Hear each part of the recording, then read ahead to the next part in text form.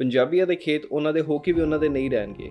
ਪੰਜਾਬੀ ਸ਼ਾਇਦ ਨਹੀਂ ਜਾਣਦੇ, ਇੰਡੀਆ ਦੇ ਵਿੱਚ ਕੁਝ ਐਸੇ ਕਾਨੂੰਨ ਨੇ ਜਿਹੜੇ ਪੰਜਾਬੀਆਂ ਨੂੰ ਉਹਨਾਂ ਦੀ ਧਰਤੀ ਤੋਂ ਹੋਰ ਦੂਰ ਕਰ ਸਕਦੇ ਨੇ।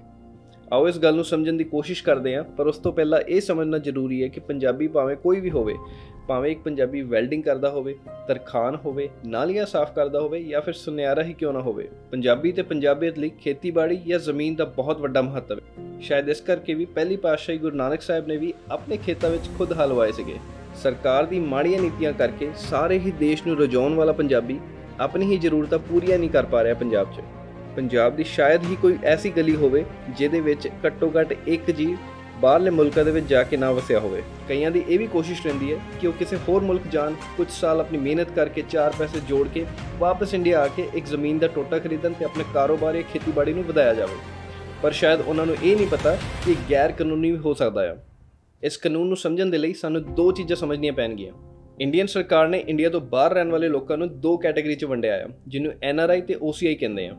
ਐਨਆਰਆਈ ਦਾ ਮਤਲਬ ਹੈ ਨਾਨ ਰੈਜ਼ੀਡੈਂਟ ਇੰਡੀਅਨ ਜਿਹੜਾ ਇੰਡੀਅਨ ਸਿਟੀਜ਼ਨ ਹੋਵੇ, ਪਰ ਇੰਡੀਆ ਤੋਂ ਬਾਹਰ ਰਹਿ ਰਿਹਾ ਹੋਵੇ, ਉਹਨੂੰ ਐੱਨ ਆਰ ਆਈ ਕਹਿੰਦੇ ਆ। ਪਰ OCI overseas citizen of India ਨੂੰ ਕਹਿੰਦੇ ਆ।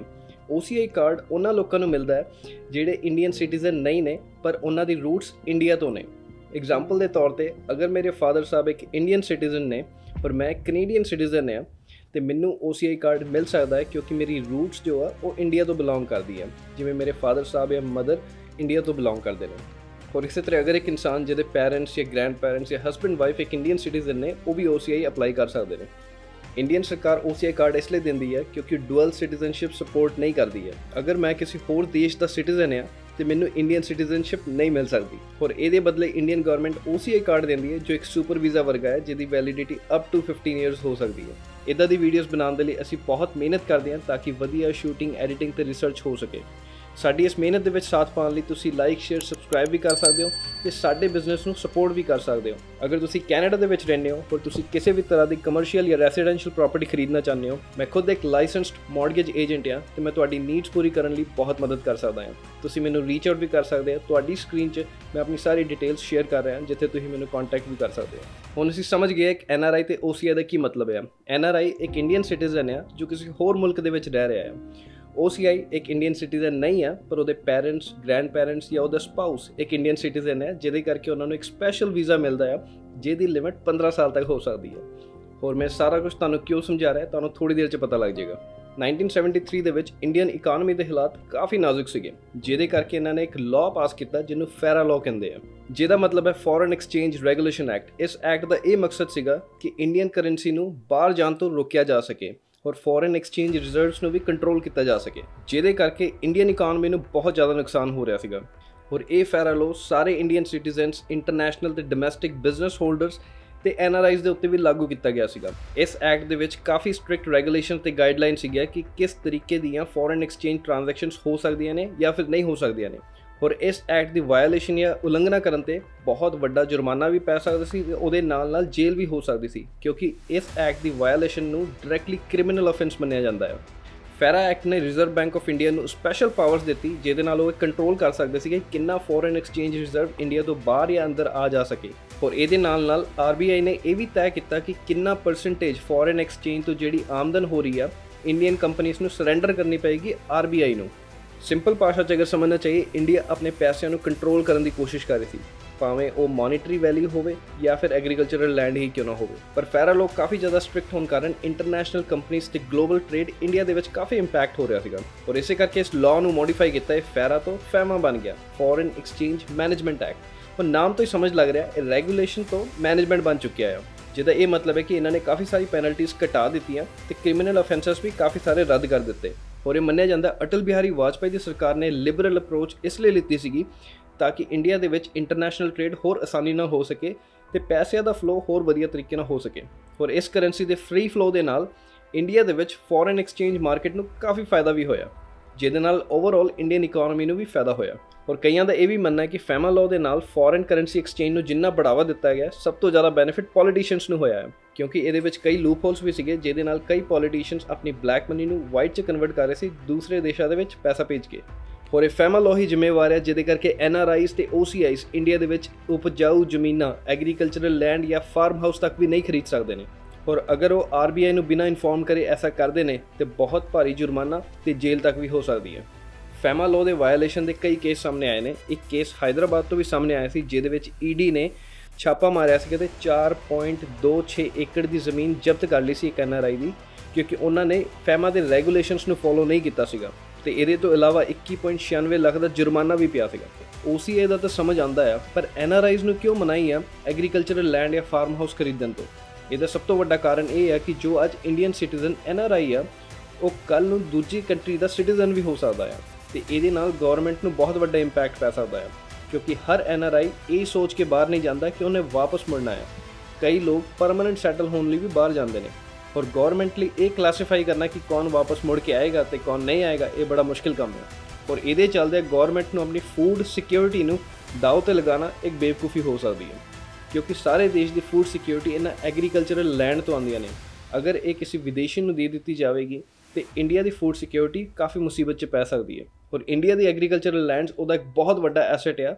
ਔਰ ਇਸੇ ਕਰਕੇ ਇੰਡੀਆ ਹਮੇਸ਼ਾ ਕੋਸ਼ਿਸ਼ ਕਰਦੀ ਹੈ ਕਿ ਐਗਰੀਕਲਚਰਲ ਲੈਂਡਸ ਨੂੰ ਕਿਸੇ ਤਰੀਕੇ ਨਾਲ ਪ੍ਰੋਟੈਕਟ ਕੀਤਾ ਜਾ ਸਕੇ। ਕਿਉਂਕਿ ਅੱਜ ਦੀ ਡੇਟ ਦੇ ਵਿੱਚ ਐਗਰੀਕਲਚਰਲ ਲੈਂਡਸ ਤੋਂ ਜੋ ਵੀ ਉਪਜ ਆਉਂਦੀ ਹੈ ਇੰਡੀਅਨ ਸਿਟੀਜ਼ਨਸ ਨੂੰ ਪਹਿਲਾ ਮੌਕਾ ਮਿਲਦਾ ਹੈ ਕਿ ਉਹ ਖਰੀਦ ਸਕਣ। ਜਿਹੜਾ ਵੱਧ ਹੋ ਜਾਂਦਾ ਹੈ, ਉਹ ਇੰਟਰਨੈਸ਼ਨਲੀ ਟ੍ਰੇਡ ਕੀਤਾ ਜਾਂਦਾ ਹੈ। ਔਰ ਅਗਰ ਇਹੀ ਜ਼ਮੀਨਾਂ ਐਨਆਰਆਈਸ ਤੇ ਓਸੀਐਸ ਕੋਲ ਚਲ ਜਾਂਦੀਆਂ ਨੇ, ਇਹ ਪ੍ਰਾਇੋਰਟੀ ਮੇਨਟੇਨ ਕਰਨਾ ਮੁਸ਼ਕਿਲ ਹੋ ਸਕਦੀ ਹੈ। ਸ਼ਾਇਦ ਉਹਨਾਂ ਦੀ ਇਹ ਪ੍ਰਾਇੋਰਟੀ ਨਹੀਂ ਹੋਏਗੀ ਕਿ ਇੰਡੀਅਨ ਸਿਟੀਜ਼ਨਸ ਕੋ ਪਹਿਲਾ ਅਨਾਜ ਚੱਲ ਜਵੇ ਤੇ ਇੰਟਰਨੈਸ਼ਨਲੀ ਟ੍ਰੇਡ ਬਾਅਦ ਹੋਵੇ। ਸ਼ਾਇਦ ਉਹ ਇੰਟਰਨੈਸ਼ਨਲ ਟ੍ਰੇਡ ਨੂੰ ਪਹਿਲੀ ਪ੍ਰਾਇੋਰਟੀ ਰੱਖਣ ਕਿਉਂਕਿ ਜ਼ਿਆਦਾ ਪੈਸਾ ਉੱਥੋਂ ਬਣ ਸਕਦਾ ਹੈ।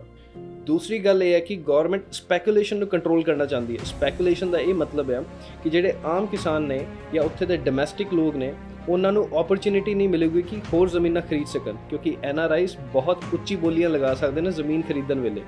ਸੋ ਗਵਰਨਮੈਂਟ ਇਸ ਚੀਜ਼ ਨੂੰ ਵੀ ਕੰਟਰੋਲ ਕਰਨਾ ਚਾਹੁੰਦੇ ਨੇ, ਕਿਉਂਕਿ ਇਹਦੇ ਨਾਲ ਜ਼ਮੀਨਾਂ ਦੇ ਪ੍ਰਾਈਸ ਬਹੁਤ ਜ਼ਿਆਦਾ ਵੱਧ ਸਕਦੇ ਨੇ ਤੇ ਲੋਕਲ ਕਿਸਾਨ ਇਹ ਜ਼ਮੀਨਾਂ ਨੂੰ ਐਕਸੈਸ ਨਹੀਂ ਕਰ ਪਾਣਗੇ।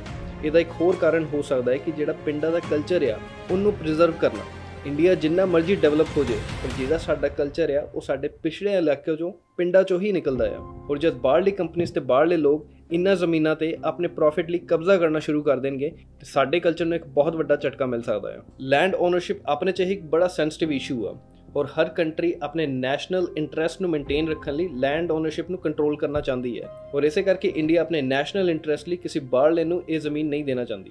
ਲੈਂਡ ਖਰੀਦਣ ਦੇ ਲੋਸ ਫੈਡਰਲ ਲੈਵਲ ਦੇ ਨਾਲ ਨਾਲ ਸਟੇਟ ਗਵਰਨਮੈਂਟ ਦੇ ਵੀ ਡਿਫਰ ਕਰਦੇ ਨੇ। ਸੋ ਇਸੇ ਕਰਕੇ ਜ਼ਰੂਰੀ ਹੈ, ਤੁਸੀਂ ਜਿਹੜੀ ਵੀ ਸਟੇਟ 'ਚ ਜ਼ਮੀਨ ਖਰੀਦਣਾ ਚਾਹੁੰਦੇ ਹੋ, ਤੁਸੀਂ ਉੱਥੇ ਦੇ ਲੀਗਲ ਐਕਸਪਰਟਸ ਨਾਲ ਜ਼ਰੂਰ ਸਲਾਹ ਕਰੋ। ਕਈ ਐਨਆਰਆਈਜ਼ ਦਾ ਇਹ ਵੀ ਕਹਿਣਾ ਹੈ ਜਿਹੜੇ ਲਾਅ ਨੇ, ਇਹ ਐਨਆਰਆਈਜ਼ ਦੇ ਨਾਲ ਧੋਖਾ ਆ। ਜਿਹੜੇ ਐਨਆਰਆਈਜ਼ ਵਾਪਸ ਆ ਕੇ ਇੰਡੀਆ ਵਸਣਾ ਚਾਹੁੰਦੇ ਨੇ ਉਹਨਾਂ ਨੂੰ ਉਹਨਾਂ ਦੀ ਜ਼ਮੀਨ ਤੋਂ ਦੂਰ ਕੀਤਾ ਜਾ ਰਿਹਾ ਹੈ। ਅਗਰ ਸਰਕਾਰ ਦੀ ਨੀਤੀਆਂ ਵਧੀਆ ਹੁੰਦੀਆਂ, ਪਹਿਲੀ ਗੱਲ ਉਹਨਾਂ ਨੂੰ ਆਪਣਾ ਘਰ ਛੱਡ ਕੇ ਬਾਹਰ ਹੀ ਨਾ ਜਾਣਾ ਪੈਂਦਾ। ਹੁਣ ਅਗਰ ਜਾਣਾ ਵੀ ਪੈ ਰਿਹਾ ਤੇ ਉਹਨਾਂ ਤੇ ਪਾਬੰਦੀਆਂ ਲਗਾਈਆਂ ਜਾ ਰਹੀਆਂ ਨੇ। ਪਰ ਜਿੱਦਾਂ ਅਸੀਂ ਦੱਸਿਆ ਸੀਗਾ, ਫੈਮਾ ਲਾਅ, ਫੈਰਾ ਲਾਅ ਨਾਲੋਂ ਥੋੜਾ ਜਿਹਾ ਜ਼ਿਆਦਾ ਲੀਨੀਅੰਟ ਹੈ। ਫੈਮਾ ਲਾਅ ਦੇ ਮੁਤਾਬਿਕ ਅਗਰ ਤੁਸੀਂ ਐਨਆਰਆਈ ਜਾਂ ਓਸੀਆਈ ਕਾਰਡ ਹੋਲਡਰ ਹੈਗੇ ਹੋ, ਤੁਸੀਂ ਇੱਕ ਇੰਡੀਅਨ ਰੈਜ਼ੀਡੈਂਟ ਤੋਂ ਐਗਰੀਕਲਚਰਲ ਲੈਂਡ ਗਿਫਟ 'ਚ ਵੀ ਲੈ ਸਕਦੇ ਹੋ। ਪਰ ਇੱਕ ਚੀਜ਼ ਧਿਆਨ ਰੱਖਿਓ, ਤੁਸੀਂ ਇਹ ਐਗਰੀਕਲਚਰਲ ਲੈਂਡ ਕਿਸੇ ਹੋਰ ਐਨਆਰਆਈ ਨੂੰ ਅੱਗੇ ਗਿਫਟ ਨਹੀਂ ਕਰ ਸਕਦੇ। ਅਗਰ ਤੁਸੀਂ ਗਿਫਟ ਕਰਨਾ ਚਾਹੁੰਦੇ ਹੋ, ਤੁਸੀਂ ਦੁਬਾਰਾ ਵਾਪਸ ਕਿਸੇ ਇੰਡੀਅਨ ਰੈਜ਼ੀਡੈਂਟ ਨੂੰ ਹੀ ਗਿਫਟ ਕਰ ਸਕਦੇ ਹੋ। ਔਰ ਇਸ ਟ੍ਰਾਂਸਫਰ ਆਫ ਐਸੈਟ ਦੇ ਵਿੱਚ ਪ੍ਰੋਫਿਟ ਦਾ ਕਾਫੀ ਹਿੱਸਾ ਆਰਬੀਆਈ ਨੂੰ ਜਾਏਗਾ। ਔਰ ਇਸ ਟ੍ਰਾਂਜੈਕਸ਼ਨ ਦੇ ਸਾਰੇ ਪੈਸੇ ਇੱਕ ਐਨਆਰਓ ਅਕਾਊਂਟ ਦੇ ਵਿੱਚ ਜਾਣਗੇ। ਤੁਸੀਂ ਇੱਕ ਐਨਆਰਆਈ ਹੋ ਕੇ ਇੱਕ ਰੈਗੂਲਰ ਅਕਾਊਂਟ 'ਚ ਪੈਸੇ ਨਹੀਂ ਰੱਖ ਸਕਦੇ। ਔਰ ਇਸ ਐਨਆਰਓ ਅਕਾਊਂਟ ਦੀ ਲਿਮਿਟ ਯੂਐਸ 10 ਲੱਖ ਡਾਲਰ ਹੈ। ਹੁਣ ਫੈਮਾ ਦੀ ਵਾਇਓਲੇਸ਼ਨਸ ਦੀ ਕੀ ਪੈਨਲਟੀਜ਼ ਹੋ ਸਕਦੀ ਹੈ, ਆਪਾਂ ਉਹ ਡਿਸਕਸ ਕਰਦੇ ਹਾਂ। ਭਾਵੇਂ ਹੀ ਫੈਮਾ ਫੈਰਾ ਨਾਲੋਂ ਕਾਫੀ ਲੀਨੀਐਂਟ ਆ, ਪਰ ਇਹਦਾ ਇਹ ਮਤਲਬ ਨਹੀਂ ਕਿ ਇਹਦੇ ਵਿੱਚ ਕੋਈ ਜੁਰਮਾਨੇ ਨਹੀਂ ਨੇ। ਫੈਮਾ ਲਾਅ ਦੀ ਵਾਇਓਲੇਸ਼ਨ ਦੇ ਨਾਲ ਤੁਹਾਨੂੰ 3 ਗੁਣਾ ਜ਼ਿਆਦਾ ਪੈਸੇ ਭਰਨੇ ਪੈ ਸਕਦੇ ਆਰਬੀਆਈ ਨੂੰ, ਜਿੰਨਾ ਪੈਸਾ ਵੀ ਉਸ ਉਲੰਘਣਾ ਦੇ ਵਿੱਚ ਇਨਵੋਲਵਡ ਆ। ਔਰ ਅਗਰ ਤੁਸੀਂ ਪੈਨਲਟੀ ਪੈਨ ਤੋਂ ਲਗਾਤਾਰ ਉਹੀ ਗਲਤੀ ਕਰ ਰਹੇ ਹੋ, ਹਰ ਦਿਨ ਤੁਹਾਨੂੰ 5000 ਦਾ ਜੁਰਮਾਨਾ ਪੈਂਦਾ ਰਹੇਗਾ। ਹੋਰ ਤੇ ਹੋਰ ਇਸ ਜੁਰਮਾਨੇ ਦੇ ਨਾਲ ਨਾਲ 5 ਸਾਲ ਦੀ ਜੇਲ੍ਹ ਵੀ ਹੋ ਸਕਦੀ ਹੈ। ਫੈਮਾ ਲਾਅ ਦੇ ਅੰਡਰ ਕਈ ਸਾਰੀਆਂ ਰੈਗੂਲੇਸ਼ਨਸ ਆਉਂਦੀਆਂ ਨੇ, ਤੁਸੀਂ ਸਕਰੀਨ ਵਿੱਚ ਦੇਖ ਰਹੇ ਹੋਵੋਗੇ। ਅਸੀਂ ਇਹ ਸਾਰੀਆਂ ਰੈਗੂਲੇਸ਼ਨਸ ਤਾਂ ਨਹੀਂ ਡਿਸਕਸ ਕਰ ਪਾਵਾਂਗੇ, ਕਿਉਂਕਿ ਇਹ ਵੀਡੀਓ ਬਹੁਤ ਜ਼ਿਆਦਾ ਵੱਡੀ ਹੋ ਜਾਏਗੀ। ਪਰ ਤੁਸੀਂ ਇਸ ਗੱਲ ਦਾ ਜ਼ਰੂਰ ਧਿਆਨ ਰੱਖਣਾ ਹੈ, ਅਗਰ ਤੁਹਾਨੂੰ ਕੋਈ ਚੀਜ਼ ਦੀ ਵੀ ਕਨਫਿਊਜ਼ਨ ਹੈ, ਤੁਸੀਂ ਇੰਡੀਆ ਦੇ ਵਿੱਚ ਕਿਸੇ ਵੀ ਲੀਗਲ ਐਕਸਪਰਟ ਨਾਲ ਸਲਾਹ ਕਰ ਸਕਦੇ ਹੋ। ਭਾਵੇਂ ਇੱਕ ਵਧੀਆ ਅਕਾਊਂਟੈਂਟ ਹੋਵੇ, ਜਾਂ ਫਿਰ ਇੱਕ ਬੈਂਕ ਦਾ ਮੈਨੇਜਰ ਹੀ ਕਿਉਂ ਨਾ ਹੋਵੇ। ਔਰ ਜ਼ਿਆਦਾ ਤੋਂ ਜ਼ਿਆਦਾ transactions Reserve Bank of India ਵੱਲੋਂ ਅਪਰੂਵਡ ਕੀਤੀਆਂ ਹੋਈਆਂ ਇੰਸਟੀਟਿਊਸ਼ਨਸ ਤੋਂ ਹੀ ਕਰਾਈਆਂ ਜਾਣ, ਜਿਵੇਂ ਕਿ ਬੈਂਕਸ ਵਿੱਚੋਂ। ਔਰ ਇਸੇ ਤਰ੍ਹਾਂ ਹੀ ਫੈਮਾ ਲਾਅ ਦੀ ਉਲੰਘਣਾ ਕਰਨ ਕਰਕੇ ਇੱਕ ਬਿਜ਼ਨਸਮੈਨ ਨੂੰ ਈਡੀ ਨੇ 1000 ਕਰੋੜ ਦਾ ਵੀ ਜੁਰਮਾਨਾ ਲਾਇਆ ਸੀਗਾ। ਔਰ ਕੁਝ ਦਿਨ ਪਹਿਲਾਂ ਹੀ ਈਡੀ ਨੇ ਮਹਾਰਾਸ਼ਟਰ ਦੇ ਵਿੱਚ 400 ਕਰੋੜ ਦਾ ਜੁਰਮਾਨਾ ਲਗਾਇਆ ਇੱਕ ਕੰਪਨੀ ਨੂੰ, ਕਿਉਂਕਿ ਉਹਨਾਂ ਨੇ ਫੈਮਾ ਲਾਅ ਦੇ ਮੁਤਾਬਿਕ ਪੈਸਿਆਂ ਦੇ ਟ੍ਰਾਂਸਫਰ ਨਹੀਂ ਕੀਤੇ ਸੀਗੇ। ਫੈਮਾ ਲਾਅ ਫਿਰ ਵੀ ਕੁਝ ਐਨਆਰਆਈਜ਼ ਨੂੰ ਛੂਟ ਦਿੰਦਾ ਆ ਕਿ ਉਹ ਕੁਝ ਤਰ੍ਹਾਂ ਦੀ ਐਗਰੀਕਲਚਰਲ ਲੈਂਡਸ ਖਰੀਦ ਸਕਦਾ ਹੈ ਪਰ ਉਹਦੇ ਲਈ ਆਰਬੀਆਈ ਤੋਂ ਸਪੈਸ਼ਲ ਪਰਮਿਸ਼ਨ ਲੈਣੀ ਪਵੇਗੀ। ਆਰਬੀਆਈ ਤੋਂ ਪਰਮਿਸ਼ਨ ਲੈਣਾ ਪੀਐਮਓ ਦਫ਼ਤਰ ਤੋਂ ਦਰਖਾਸਤ ਪਾਉਣ ਵਰਗਾ ਆ। ਸੋ ਸ਼ਾਇਦ ਇਹ ਬਹੁਤ ਮੁਸ਼ਕਿਲ ਕੰਮ ਹੋਏਗਾ। ਔਰ ਇਸ ਲਾਅ ਕਰਕੇ ਕਈ ਐਨਆਰਆਈਜ਼ ਇੱਕ ਡਿਸਕਨੈਕਟ ਫੀਲ ਕਰ ਰਹੇ ਨੇ ਆਪਣੇ ਦੇਸ਼ ਕੋਲੋਂ ਕਿ ਉਹ ਆਪਣੇ ਤੇ ਆਪਣੇ ਦੇਸ਼ ਦੀ ਗਰੋਥ ਐਂਡ ਡਿਵੈਲਪਮੈਂਟ ਦੇ ਵਿੱਚ ਪਾਰਟਿਸਿਪੇਟ ਨਹੀਂ ਕਰ ਪਾ ਰਹੇ ਨੇ। ਪਰ ਗਵਰਨਮੈਂਟ ਲਈ ਵੀ ਬਹੁਤ ਜ਼ਿਆਦਾ ਚੈਲੰਜਿੰਗ ਹੋਏਗਾ, ਇੱਕ ਵਧੀਆ ਬੈਲੈਂਸ ਲੱਭਣਾ, ਜਿਹਦੇ ਨਾਲ ਨੈਸ਼ਨਲ ਇੰਟਰਸਟ ਨੂੰ ਵੀ ਮੇਨਟੇਨ ਕੀਤਾ ਜਾ ਸਕੇ ਤੇ ਐਨਆਰਆਈਜ਼ ਦੇ ਇਨ ਇਮੋਸ਼ਨਲ ਡਿਸਟ੍ਰੈਸ ਨੂੰ ਵੀ ਐਡਰੈਸ ਕੀਤਾ ਜਾ ਸਕੇ। ਪਰ ਡੈਫੀਨਿਟਲੀ ਇਸ ਮੁੱਦੇ ਵਿੱਚ ਇੱਕ ਵਧੀਆ ਬੈਲੈਂਸ ਲੱਭਣਾ ਬਹੁਤ ਜ਼ਿਆਦਾ ਚੈਲੰਜਿੰਗ ਹੋਣ ਵਾਲਾ ਹੈ। ਅਸੀਂ ਉਮੀਦ ਕਰਦੇ ਹਾਂ ਤੁਹਾਨੂੰ ਇਹ ਵੀਡੀਓ ਪਸੰਦ ਆਈ ਹੋਵੇਗੀ।